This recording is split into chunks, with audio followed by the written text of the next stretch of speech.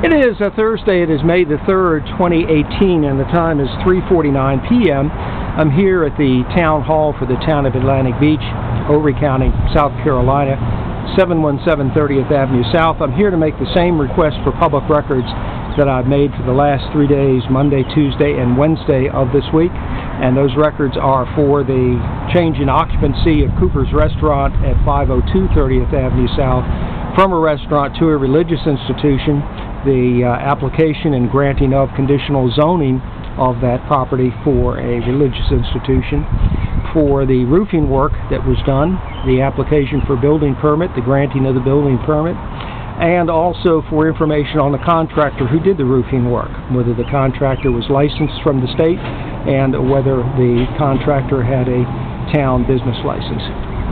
I fully expect that I'll be refused again today.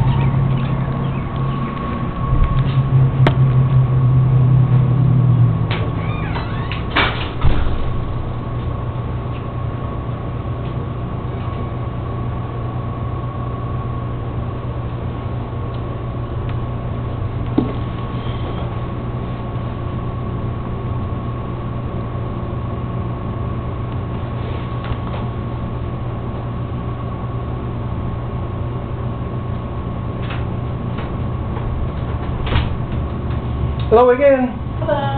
I'm here again today, just like Monday, Tuesday, and Wednesday. Wanted to see the change in occupancy documents for the Cooper's Restaurant, conditional zoning approval, the building permits for the roofing work, and information on the contractor who did the work. Okay? Just gotta have it in the video for the judge. Thanks again. Have a good afternoon.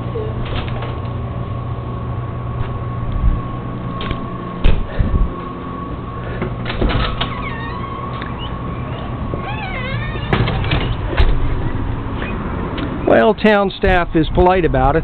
Can't help me. Uh, of course, that poor individual is stuck having to deal with this because the town manager uh, won't deal with it honestly. Ending this recording on this um, Thursday, May the 3rd, 2018.